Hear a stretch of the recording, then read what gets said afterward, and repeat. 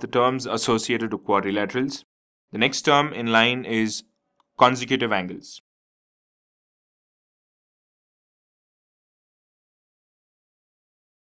So what does consecutive angles in a quadrilateral mean?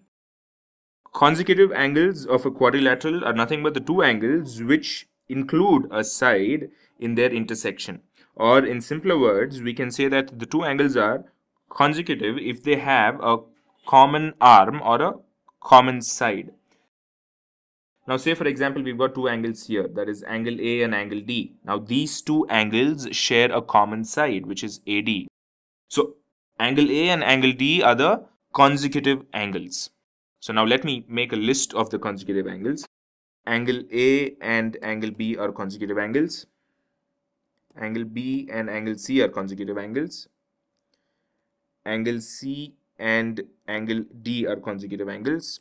Angle D and angle A are consecutive angles. These are the list of consecutive angles in the given quadrilateral ABCD.